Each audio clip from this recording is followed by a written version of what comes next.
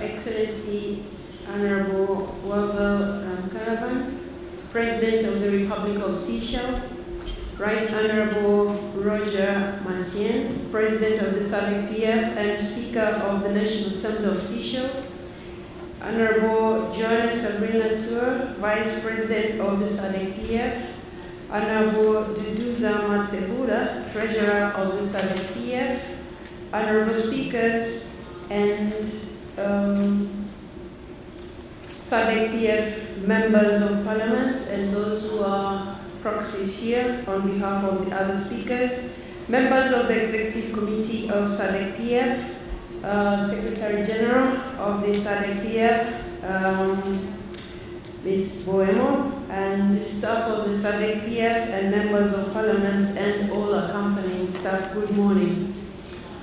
Uh, my name Ackson. I'm the Speaker of the National Assembly of Tanzania.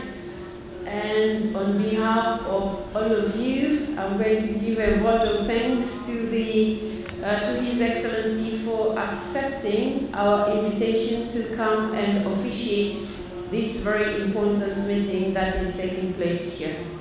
So I'd like to uh, thank you for sparing your very uh, precious time to come and share first your views about the SADC PF, but also you have shared with us your commitment to this, uh, to the cause that we are all here to discuss. Mr. President, we are very honored today. Before you are the speakers, and as you rightly said, you have been part of this forum. These speakers are committed to a cause that you began long ago working on, and we are still forging ways forward.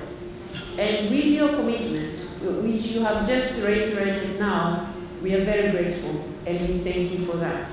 And all of us count on your support as we move forward into changing the SADC PF to become the SADC uh, Parliament.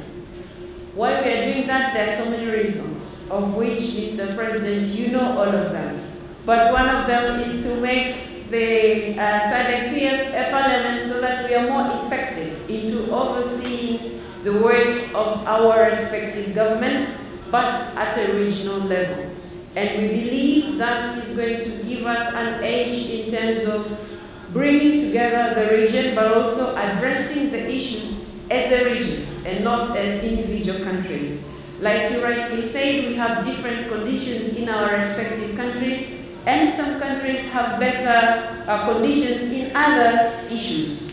If Seychelles is good at fishing, other countries are good at agriculture, and as a region, we can share the resources that we have to better the lives of our people in this region.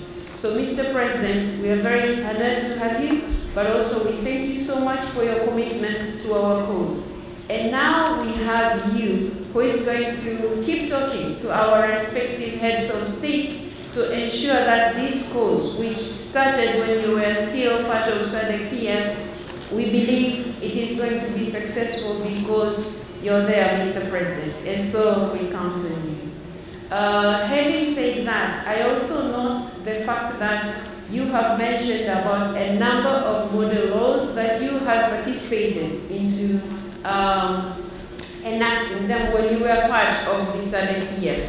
And we believe that cause hasn't stopped, and I can assure you this forum is still working towards those laws that are already there in terms of domesticating in our respective countries, but also uh, trying to think of how better we can make our societies in terms of other issues. And here you mentioned about the plenary that is going to come up in Tanzania in July. We will have a chance to discuss about modernizing agriculture as you just uh, mentioned, but we will be looking at uh, agriculture being used as one of the tools to create employment for our youth in our respective countries, but also ensuring food security. As you just mentioned, we want our region to be full sufficient in terms of food, not depending on other, other regions uh, when it comes to issues of climate change, but also other vagaries of nature, and also wars, as it were. Mr. President, I wouldn't want to take much of our time. I would like to again thank you so much for sparing your time to come talk to us, and we appreciate your presence. Thank you so much, Mr. President. I beg to salute. Thank you very much, Honorable Speaker. Uh, we uh, very much appreciate your words uh, on behalf uh, of uh, EXCO and on behalf